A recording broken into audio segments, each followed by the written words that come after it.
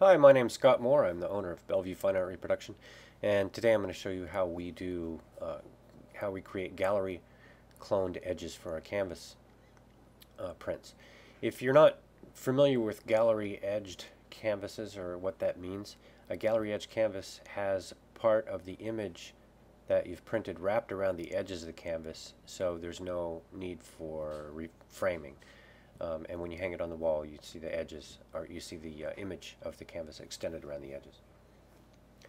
The way that we do that uh, with both photographs and paintings, and we'll show you an example of each here, is we take two inches around um, all sides of the image and we select it with the Marquee tool and we duplicate it onto another layer and we flip it around so you've got a mirror image of the image that you'll be printing.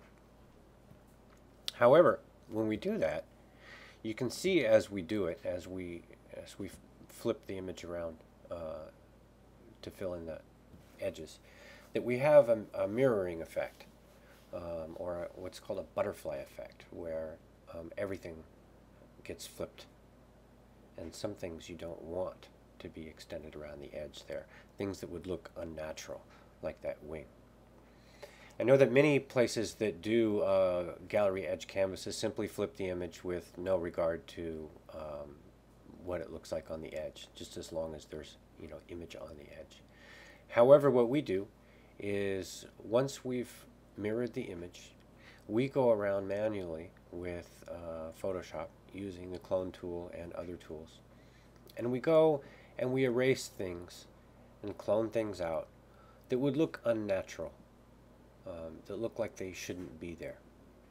So that we really trick the eye um, into believing that that image naturally wraps around that canvas. Uh, there's another little piece of the wing there. We're going to get that and take that out. There we go. Um, this is really important to making a, a, a good looking canvas, one that looks natural uh, as it's hanging on the wall. Um, otherwise, if your viewer starts to notice that, that mirroring or that butterflying effect, um, it really starts to look starts to look sort of funny. So we do little things like we uh, we go and extend the leaves, um, and you know, we really sort of paint um, the edges around the canvas. We really start using Photoshop to paint um, things out um, that we don't think will look good when we stretch it. Another thing that this does is it makes it easier for the person stretching the canvas, um, actually, because when you're stretching a canvas um, that has a very defined edge, you have to be very, very careful. Uh, and canvas is malleable. Um, it does uh, stretch you know, as you stretch it across the stretcher bars. Um, and so you have to be very, very careful to get everything just exactly edge to edge when you're stretching. Whereas we, when you have a well-cloned gallery edge, um, you've actually got about an eighth of an inch of leeway as you're stretching the canvas. Um, and you don't have to be so exacting as you stretch it. You can see here we're going to do the same thing with uh, painting that we did with um, that we did with the photograph in the previous example.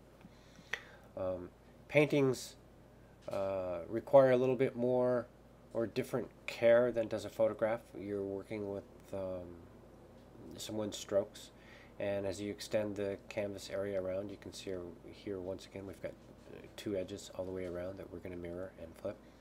Um, you really have to be careful uh, with the artist's strokes. Um, you want to make sure that when you um, extend the pattern to be more natural, um, the, you're very careful to use their strokes in cloning um, and to do so naturally and in a way that doesn't affect the face of the canvas. So you maintain the integrity of the, the artist's work um, on the face of the canvas and yet still are able to clone out the edges to make the edges um, look painterly or painted. This particular canvas uh, we chose as an example because um, it, it, it's actually very difficult uh, because of all the circular patterns, um, as a, a, a, lot of pattern to be mirrored, a lot of pattern to be cloned out um, in order to make it look good. Looking at this at first glance, you might think that this would be uh, an impossible painting to clone um, because it is so complex. However, it's really um, not all that complex at all, uh, well, at least for us, and within a very short time we're able to clone out a painting like this. Um, it probably takes us about 10 or 20 minutes um, to clone something this complex. And that's something that we normally um, don't charge for, uh, especially for larger pieces that are a little bit more expensive. So back to the um, cloning here, we can see um, what, we, what we have to do is, is we really have to uh, pay attention to the direction um, that the artist has made their strokes. And it does, you know, it does require a little bit of work um, as you try and recreate their strokes. And you have to go through with your clone tool. You see we're using our clone tool. And really resample quite a bit um, from different areas of the painting. Um, so you're constantly resampling and grabbing different strokes to work with. They're extending that stroke and, and uh, really using the artist's own strokes and own painting to extend. So now that we finished that, we're going to rename the file and um, we're going to save it as a new name so that we don't overwrite the original artwork and we keep a separate copy um, of the image that we've cloned out for a canvas. One of the things to remember is that when we clone edges for a canvas like this, it's very specific to the size um, that you've ordered. We can't just go take that cloned um, image and, and go create different sizes. We, each For each size, we actually have to go and, and do all the cloning all over again. And so there you have it. Uh, you have a finished gallery wrapped canvas. You can see the edges will be there and the strokes will look natural as they wrap around. And it's ready to print.